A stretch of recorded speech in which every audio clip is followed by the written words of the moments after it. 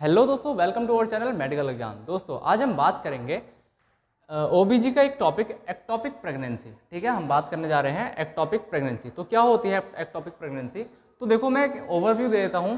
तो ये जो चीज़ है, ये है यूट्रस ठीक है, ये यूट्रस है और ये फेलोपियन ट्यूब है। ठीक है, ये जो ट्यूब लाइक स्ट्रक्चर है, ये फेलोपियन ट्यूब है। जब क्या होता है यूट्रस में जब जो बेबी है ठीक है? जब मदर कंसीव करती है बेबी को, और वो जो बेबी है वो यहाँ पर ना इम्प्लांट होके, ठीक है? इस जगह पर इम्प्लांट ना होके, जब वो क्या होता है? फेलोपियन ट्यूब में इम्प्लांटेशन बेबी का हो जाता है, ठीक है? तब हम क्या कहते हैं इस कंडीशन को? एक्टॉपिक प्रेगनेंसी कहते हैं, ठीक है? ये क्या है? एक लाइफ थ्रेटनिंग सिचुएशन होती है। क्या है? लाइफ थ्रेटनिंग एक सिचुएशन है, ठीक है? तो देखते हैं हम क्या होती है ये। ठीक है एक्टॉपिक प्रेगनेंसी ठीक है? Ectopic pregnancy is a gestation implanted outside the uterine cavity ठीक है? एक्टॉपिक प्रेगनेंसी क्या है? एक जेस्टेशनल जेस्टेशन इम्प्लांटेड है। यानी किसका? जब क्या होता है, एक जो बेबी है, जब जो जेस्टेशन है, वो कहाँ पर होता है? आउटसाइड द यूटराइन कैविटी यानी जब यूट्रस के बाहर की तरफ़ को क्या होता है? जेस्टेशन होता है।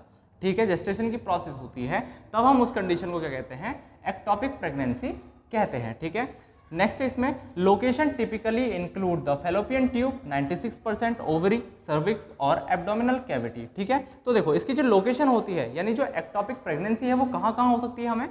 यानी एक फीमेल को तो फेलोपियन ट्यूब में हो सकती है 96 परसेंट जो फीमेल्स है उनमें फेलोपियन ट्यूब में ही देखने को मिलती है, ठीक है? ओवरी में ओवरी के पास हो सकती है सर्विक्स पे हो सकती है, या फिर एब्डोमिन एब्डोमिनल कैविटी पे भी हो सकती है, ठीक है? नेक्स्ट है इसमें most tubal pregnancies occurs in the distal यानी ampullary two third of the tube some are located in the proximal portion of the extra uterine part of the tube यानी एस्थमिक तो देखो, क्या होता है? ज़्यादातर जो ट्यूबल प्रेगनेंसीज होती है, वो कहाँ होती है? वो distal distal two third of the tube यानी जो हमारी फेलोपियन ट्यूब होती है, उसके टू थर्ड पार्ट में होती है, यानी एम्पुलरी पार्ट पे होती है, ठीक है? और कुछ कहाँ होती है? तो कुछ प्रॉक्सिमल पोर्शन पे होती है, ठीक है? यानी जो एक्स्ट्रा यूट्राइन पार्ट होता है, उसके कहाँ होती है? यानी जो ट्यूब है फेलोपियन ट्यूब है, उसके कौन से पार्ट पर होती है? तो प्रॉक्सिमल पोर्शन पर हो सकती है, ठीक है? जिसको हम क्या कहते हैं? स्थमिक कहते हैं या फिर स्थमस कहते हैं, ठीक है? तो यहाँ यहाँ पर क्या होता है? देखने को मिलती है एक्टॉपिक प्रेगनेंसी ठीक है ना? नेक्स्ट हम बात करते हैं देखिए, अब ये है ये यूट्रस है तो मैंने आपको पोजिशन बताई थी, यानी लोकेशन बताई थी कहाँ कहाँ पे हो सकती है तो देखो, ये यूट्रस है तो यूट्रस के बाहर की तरफ़, यानी outer side of the uterus तो ये फेलोपियन ट्यूब है फेलोपियन ट्यूब में हो रही है, यानी ये इस पार्ट पे हो रही है, ठीक है, यहाँ पर हो रही है फेलोपियन ट्यूब में, ठीक है, यहाँ पर हो रही है और इस पार्ट में हो रही है, ठीक है, देखो ओवरी के पास हो रही है, ठीक है, यहाँ पर इस पार्ट में हो रही है स्थमस पे हो रही है, और कहाँ पर हो रही है एम्पलरी पर एम्पुला पर हो रही है, ठीक है? नेक्स्ट है इसमें सर्विक्स सर्विक्स पर भी क्या हुआ? यहाँ पर जो जेस्टेशन है वो स्टार्ट हो गया यानी जो बेबी का डेवलपमेंट है, वो कहाँ स्टार्ट हुआ है? सर्विक्स पर स्टार्ट हुआ है, ठीक है ना? और एब्डोमेन में कहा होगा? तो देखो, ये इंटेस्टाइन के पास हो गया है, ठीक है? इंटेस्टाइन के पास हो चुका है क्या? जो बेबी का जेस्टेशन है, ठीक है ना? जो जेस्टेशन पीरियड है वो कहाँ पर, यानी जो सॉरी जो बेबी का डेवलपमेंट है वो कहाँ पर हुआ है? तो एब्डोमेन वाले पार्ट में इंटेस्टाइन के पास हो गया है। तो ये सारी कंडीशंस क्या होती है? एक्टोपिक प्रेगनेंसीज होती हैं, ठीक है? साइट्स ऑफ़ एक्टोपिक प्रेगनेंसी है ना? ये क्या है? ये साइट्स हैं जहाँ पर क्या हो सकती है? एक्टोपिक प्रेगनेंसी हो सकती है। ठीक है नेक्स्ट हम बात करते हैं इसकी एटियोलॉजी के बारे में। ठीक है? एटियोलॉजी क्या क्या होंगी? यानी इसके कौन कौन से कारण होते हैं जिनकी वजह से जो कि एक्टोपिक प्रेगनेंसी है वो हो सकती है। ठीक है? तो फ़र्स्ट है इसमें क्लिनिकल और स्ट्रक्चर फैक्टर्स दैट प्रिवेंट और delay the passage of the fertilize fertilize ovum ठीक है? तो कुछ ऐसे क्लिनिकल और स्ट्रक्चर फैक्टर्स होते हैं जो क्या करते हैं? जो कि प्रिवेंट करते हैं, उसके पासिस वे को रोकने से, है ना? यानी जब भी क्या होता है, एक फर्टिलाइज्ड ओवम अपने जहाँ पर उसको जाना होता है, वहाँ पर नहीं जा पाता है तो उसके लिए कुछ फैक्टर्स क्या होते हैं रिस्पॉन्सिबल होते हैं, ठीक है? उन फैक्टर्स के कारण क्या होता है, जो भी ओवम है, वो कहाँ नहीं जा पाता है अपनी जगह पर, यानी जहाँ पर उसको डेवलपमेंट करना है डेवलपमेंट होना है, वहाँ पर नहीं जा पाता है, ठीक है? ठीक है।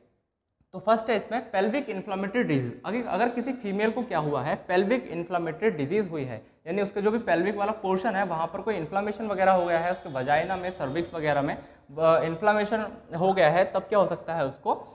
ये एक्टॉपिक प्रेगनेंसी की जो कंडीशन है, वो देखने को मिल सकती है, ठीक है? नेक्स्ट है इसमें prior history of ectopic pregnancy है ना? अगर किसी फीमेल को पहले भी क्या हुआ है एक्टॉपिक प्रेगनेंसी हुई है तो उस कंडीशन में भी क्या हो सकता है एक्टॉपिक प्रेगनेंसी देखने को मिल सकती है। नेक्स्ट इसमें प्रायर ट्यूबल सर्जरी और क्यूरेटेज है ना? ट्यूबल सर्जरी का मतलब होता है कि प्रेगनेंसी को प्रिवेंट करने के लिए कोई सर्जरी वगैरह तो नहीं हुई है है ना?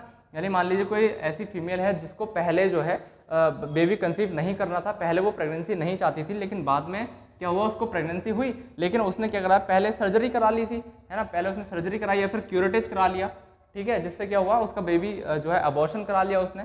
तो उस वजह से क्या हुआ जब वो आगे जो भी कंडीशन आगे जो भी अगर प्रेगनेंसी है उसको कंसीव करना चाहती है ठीक है तब क्या हो सकता है? उस कंडीशन में भी एक्टोपिक प्रेगनेंसी के होने के चांसेस बहुत ज़्यादा होते हैं। नेक्स्ट है इसमें diethylstilbestrol D exposure ठीक है? अगर जो आ, आ, वो है क्या कहते हैं जो फीमेल है वो किसके डाई एथिल स्टिल बेस्ट्रोल के किसमें एक्सपोजर में आई हुई है तब क्या हो सकता है? उस उसको एक्टोपिक प्रेगनेंसी होने के चांसेस बहुत ज़्यादा होते हैं।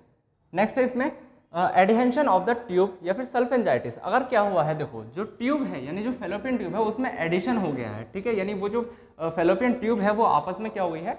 चिपक गई है। तब क्या हो सकता है? एक्टोपिक प्रेगनेंसी होने के चांसेस बहुत ज़्यादा होते हैं। सल्फेंजाइटिस अगर क्या हुआ है जो फेलोपियन ट्यूब है, उसमें अगर इन्फ्लामेशन हो जाता है तो उस कंडीशन को हम सेल्फ एंजाइटिस कहते हैं। ठीक है, अगर सेल्फ सल्फेंजाइटिस हो चुका है उस फीमेल को, तब क्या हो सकता है? एक्टोपिक प्रेगनेंसी के होने के चांसेस बहुत ज़्यादा होते हैं या फिर हो सकती है, ठीक है? नेक्स्ट है इसमें congenital and developmental anomalies of the fallopian tube और यूटराइन ट्यूब ठीक है? जब क्या होता है यूटराइन ट्यूब में या फिर फेलोपियन ट्यूब में फीमेल को पहले से ही कोई डेवलपमेंटल एनोमली है या फिर कंजेनाइटल एनोमली है, यानी बचपन से ही जब से वो पैदा हुई है बर्थ आफ्टर बर्थ या फिर बर्थ के पहले से ही कोई क्या है, दिक्कत है उसके यूट्रस में, तब क्या हो सकता है, उसको एक्टोपिक प्रेगनेंसी होने के बहुत ज़्यादा चांसेस होते हैं या फिर उसको एक्टोपिक प्रेगनेंसी हो सकती है। इंक्रीज मेटरनल एज अगर जो फीमेल है उसकी एज बहुत ज़्यादा बढ़ी हुई है, ठीक है, जो फीमेल है, उसकी एज थर्टी फाइव एबव है थर्टी फाइव ईयर एबव है या फिर थर्टी एबव है, तब क्या हो सकता है, उसको ये चांसेस बहुत ज़्यादा नेक्स्ट इसमें the growing ectopic result in the growing ectopic result in inflammation rupture haemorrhage and peritonitis तो देखो, क्या हो सकता है? जब भी क्या है एटियोलॉजी क्या है, अगर एक्टोपिक प्रेगनेंसी हुई है, तब क्या हो सकता है? उसकी वजह से इन्फ्लामेशन हो सकता है। ठीक है? सॉरी जो एक्टोपिक प्रेगनेंसी है, वो किसकी वजह से हो सकती है? तो इन्फ्लामेशन की वजह से हो सकती है रप्चर की वजह से हेमरेज की वजह से, फिर पेरिटोनाइटिस अगर हुआ है पेशेंट को, तब उस कंडीशन में क्या हो सकता है? एक्टोपिक प्रेगनेंसी उसमें ग्रो हो सकती है, ठीक है? नेक्स्ट है इसमें क्लिनिकल मैनिफेस्टेशन यानी ऐसे कौन कौन से लक्षण होते हैं जो कि दिखाई देते हैं एक्टोपिक प्रेगनेंसी के दौरान, ठीक है? तो देखो फ़र्स्ट है इसमें एब्डोमिनल और पेल्विक पेन क्या हो सकता है पेशेंट को? एब्डोमिनल और पेल्विक पेन हो सकता है। टिपिकली यूनिलेटरल यानी जिस तरफ़ एक्टोपिक प्रेगनेंसी हुई है, यानी जिस साइड के फेलोपियन ट्यूब में एक्टोपिक प्रेगनेंसी हुई है तो उस कंडीशन में क्या हो सकता है? उसी तरफ़ क्या होगा? पेन देखने को मिल सकता है, ठीक है? तो वो पेल्विक पेन भी हो सकता है और वो एब्डोमेन पेन भी हो सकता है। Irregular vaginal bleeding usually scanty और एंड डार्क मोस्ट कॉमन ठीक है? तो मोस्ट कॉमनली क्या देखने को मिलती है? इरेगुलर वजाइनल ब्लीडिंग देखने को मिलती है, ठीक है? यानी वजाइना से क्या होगा? ब्लीडिंग होने के चांसेस होते हैं, देखने को मिलती ही मिलती है, ठीक है? स्केंटी हो सकती है और डार्क हो सकती है, ठीक है? स्केंटी का मतलब है कि वो बहुत ज़्यादा क्या होगी? तो वो क्या हो सकती है? बहुत ज़्यादा कम मात्रा में हो सकती है, ठीक है? कम मात्रा में हो सकती है। नेक्स्ट है इसमें amenorrhoea 75 in 75 percent of the cases है ना? 75 परसेंट केसेज में पेशेंट को एमेनोरिया देखने को मिलता है, ठीक है? नेक्स्ट इसमें यूटराइन एनलार्जमेंट है ना? यूटराइन एनलार्जमेंट हो सकता है, ठीक है? Size is usually similar to what it would be in the normally implanted pregnancy ठीक है? देखो, अब जो यूट्रस का साइज़ है, वो उतना ही देखने को मिलता है जितना कि साइज़ जो है नॉर्मल प्रेगनेंसी में देखने को मिलता है ठीक है? जो कि अगर एक्टोपिक प्रेगनेंसी भी हुई है किसी पेशेंट को किसी फीमेल को तो उसमें साइज़ जो है वो उतना देखने को मिलता है जितना कि नॉर्मल प्रेगनेंसी में आ, होता है ठीक है? एब्डोमिनल टेंडरनेस और ऑन पाल्पेशन जब हम क्या करते हैं पेशेंट के एब्डोमिन पर पाल्पेट करते हैं तो वहाँ पर टेंडरनेस देखने को मिलती है पेशेंट को ठीक है? नेक्स्ट हम बात करते हैं सिक्स पॉइंट के बारे में। तो देखो radiating shoulder pain due to bleeding into the peritoneal cavity aggravating nerves ठीक है? तो देखो, अब क्या होगा?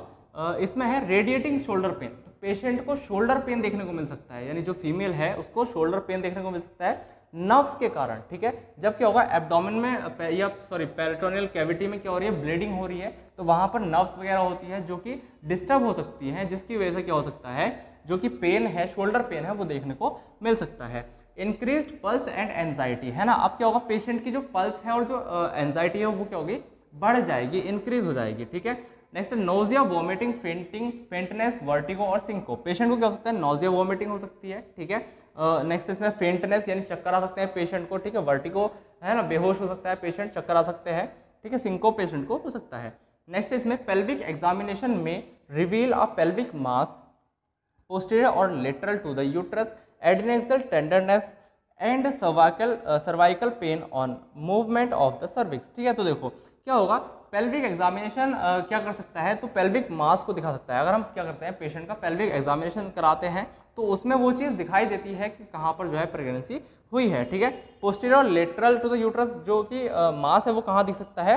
पोस्टीरियर साइड में दिख सकता है और लेटरल में भी दिख सकता है। एडिनेक्सल टेंडरनेस पेशेंट को हो सकती है। नेक्स्ट इसमें सर्वाइकल पेन देखने को मिल सकता है पेशेंट को ठीक है? जब क्या होगा सर, जो सर्विक्स है वो मूव करेगी ठीक है? इधर उधर मूव करती है सर्विक्स ठीक है? तो क्या होगा उसको सर्वाइकल पेन भी देखने को मिल सकता है। ठीक है नेक्स्ट इसमें नोट है ना? अब नोट में क्या है? तो pain may become severe if a tubal rupture occurs and clinical presentation will be that of shock है ना? अब क्या हो सकता है? पेन हो सकता है पेशेंट को, बहुत ज़्यादा पेन हो सकता है जब क्या होगा जो ट्यूबल रप्चर है, यानी क्या हुआ? जिस ट्यूब में जो बेबी है, ठीक है, यानी जो सॉरी फीटस है, वो डेवलपमेंट कर रहा है डेवलप हो रहा है। अगर वो रप्चर हो जाती है, तब क्या होगा? सीवियर पेन देखने को मिल सकता है, ठीक है? Clinical presentation will be that of shock है ना? और इस कंडीशन के बाद क्या हो सकता है? शॉक के शॉक भी पेशेंट को हो सकता है, ठीक है? शॉक की कंडीशन में पेशेंट जा सकता है। नेक्स्ट हम बात करेंगे डायग्नोस्टिक एवेल्यूशन के बारे में, यानी कि जो पेशेंट है, उसमें हम कैसे चेक करेंगे कि उसको क्या है एक्टॉपिक प्रेगनेंसी हुई है, ठीक है? तो serial quantitative levels of the beta subunit of human chorionic gonadotropin यानी beta H C G can be use in combination with the ultrasound in most cases ठीक है? ज़्यादातर केसेस में हम क्या करते हैं, जो पेशेंट है है ना, उसमें हम क्या करते हैं सीरियल क्वांटिटेटिव लेवल को चेक करते हैं। किसके? जो बीटा बीटा एचसीजी है, ठीक है? बीटा एचसीजी है, उसके हम क्या करते हैं? सीरियल क्वांटिटेटिव लेवल को चेक करते हैं और उसको हम यूज़ करते हैं अल्ट्रासाउंड के साथ, ठीक है? अल्ट्रासाउंड के साथ उसके कॉम्बिनेशन में हम क्या करते हैं? पता लगा सकते हैं कि जो भी प्रेगनेंसी है वो कहाँ पर, किस साइड में हुई है, ठीक है? नेक्स्ट है इसमें कल्ड कल्डो कल्डोसेंटेसिस हम कर सकते हैं bloody aspirate from the cul de sac ठीक है? Cul de sac of Douglas in the posterior fornix of the vagina indicates intraperitoneal bleeding from tubal rupture तो देखो अगर पेशेंट को ट्यूबल रप्चर हुआ है तब हम क्या करेंगे? तो अब तब हम कल्डोसेंटेसिस कर सकते हैं। कल्डोसेंटेसिस क्या होता है?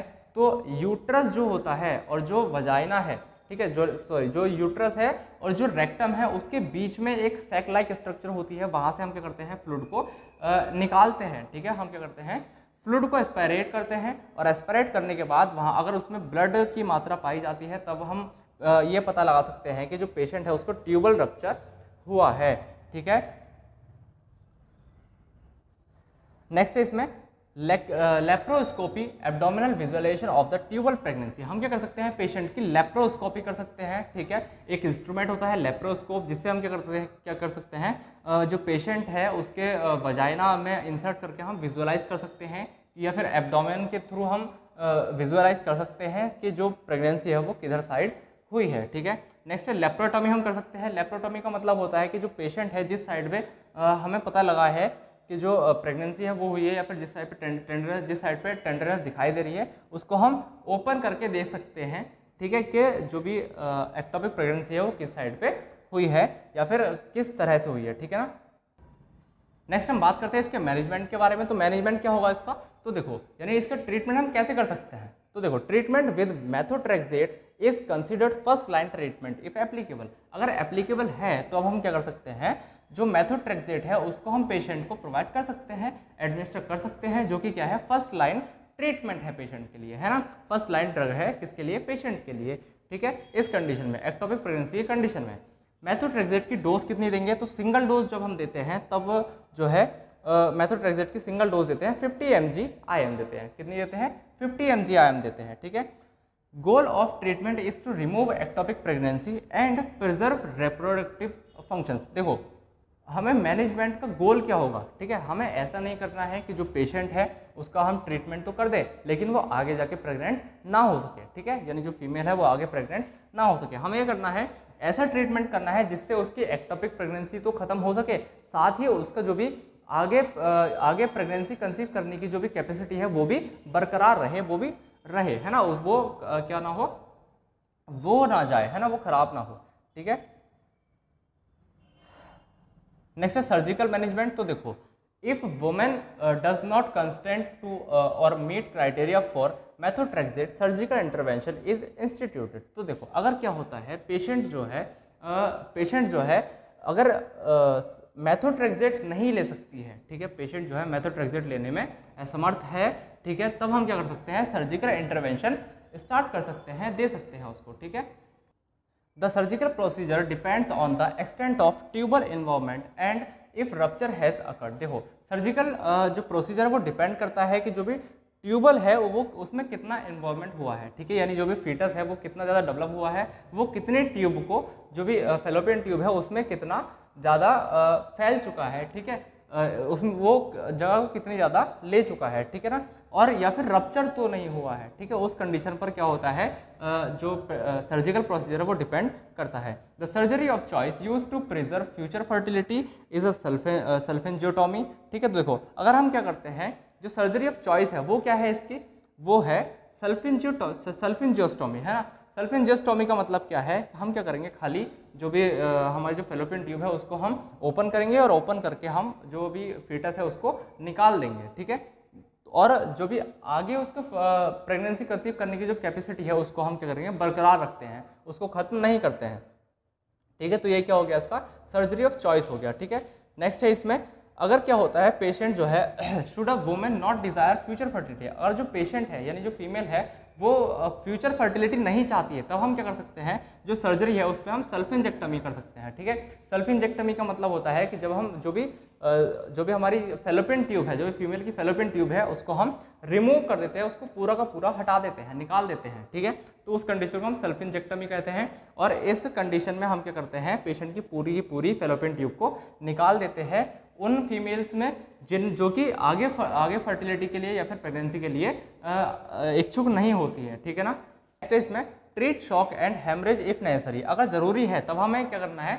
शॉक और हेमरेज को भी ट्रीट करना है, ठीक है? Administer R H I G immunoglobulin per facilities policy if women is R H negative अगर जो वुमेन है, वो आर एच निगेटिव है, तब हम क्या कर सकते हैं? पेशेंट को, यानी जो वुमेन है, उसको आर एच आई जी भी हम एडमिनिस्टर कर सकते हैं, ठीक है?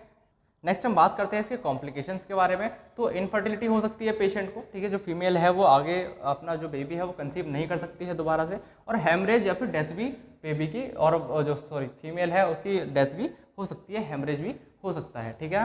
नेक्स्ट हम बात करते हैं इसके नर्सिंग डायग्नोसिस के बारे में। नर्सिंग डायग्नोसिस क्या होगा? तो देखो risk for deficient fluid volume related to blood loss from ruptured tube देखो, क्या होगा? रिस्क हो सकता है किसका? डिफिशियंट फ्लूड का फ्लूड वॉल्यूम का। क्यों? क्योंकि अगर हेमरेज हुआ है तो भैया उसको क्या होगा?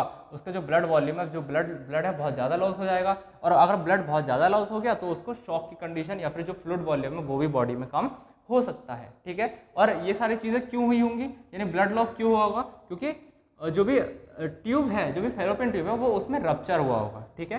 तो हमें ये करना है risk for deficient fluid volume ठीक है? किसका रिस्क हो सकता है? डिफिशियंट फ्लूड वॉल्यूम का रिस्क हो सकता है। रिलेटेड टू किससे रिलेटेड है? Blood loss from rupture tube rupture tube जो है, उससे ब्लड लॉस हुआ है, ठीक है? उस कंडीशन में। नेक्स्ट है acute pain related to ectopic pregnancy और rupture and bleeding into the peritoneal cavity तो देखो एक्यूट पेन हो सकता है। पेशेंट को क्या है? पेन हो सकता है। क्यों हो सकता है? रिलेटेड टू एक्टोपिक प्रेगनेंसी क्योंकि पेशेंट को क्या है? एक्टोपिक प्रेगनेंसी है, या फिर रप्चर हुआ है उसमें, या फिर ब्लीडिंग हो रही है पेरिटोनियल कैविटी में। तो उस कंडीशन में क्या हो सकता है? एक्यूट पेन देखने को पेशेंट को मिल सकता है। एंटीसिपेटरी ग्रीविंग रिलेटेड लॉस और related to loss of pregnancy ठीक है? एंटीसिपेटरी ग्रीविंग हो सकती है। क्यों? क्योंकि लॉस ऑफ़ प्रेगनेंसी क्योंकि फीमेल ने क्या हुआ है फीमेल को क्या हुआ है, उसने अपनी, उसने अपना बेबी खोया है, उसकी प्रेगनेंसी जो है वो हट चुकी है ना? उसको वो जो है, उसने अपनी प्रेगनेंसी खो दी है, ठीक है? Potential loss of childbearing capacity और उसको इस चीज़ के लिए भी दुख हो सकता है कि उसने अपने जो बेबी को बॉर्न करने की जो कैपेसिटी है, उसको भी एंड कर चुकी है, उसमें भी क्या हुआ अफेक्ट हुई है वो भी, ठीक है? तो बस दोस्तों, आज के लिए इतना ही। अगर आपको ये वीडियो पसंद आई है तो आप इस वीडियो को लाइक कर सकते हैं। आपके अगर कोई क्वेरी है तो कमेंट बॉक्स में पूछ सकते हैं। और इस वीडियो को अपने दोस्तों के साथ ज़्यादा से ज़्यादा शेयर करें, ताकि हमारा चैनल भी ग्रो हो सके। क्योंकि अभी तक मेरे चैनल पर रीच नहीं आई है, और रीच आएगी आपकी ही वजह से, और आपके लिए ही मैंने क्या किया है, स्मार्ट टीवी को भी लगवाया है, जिससे मैं आपको क्वालिटी कंटेंट दे सकूँ। और मैं वीडियो की क्वालिटी सुधारने की कोशिश कर रहा हूँ धीरे धीरे, ठीक है? आप जितना ज़्यादा सब्सक्राइब करेंगे, उतना ज़्यादा मुझे मोटिवेशन मिलेगा। जितने आप वीडियो पर व्यूज़ आएँगे, उतना ज़्यादा मुझे मोटिवेशन मिलेगा, ठीक है? तो जिससे मैं क्या करूँगा, अपनी वीडियोज़ की क्वालिटी भी सुधारूँगा, ठीक है ना? वीडियोस के अपडेट के लिए आप हमारे इंस्टाग्राम पेज को भी फॉलो कर सकते हैं, जिसका लिंक आपको डिस्क्रिप्शन बॉक्स में दिया गया है, ठीक है? पेज का नाम है मेडिकल का ज्ञान। आज के लिए इतना ही। Thank you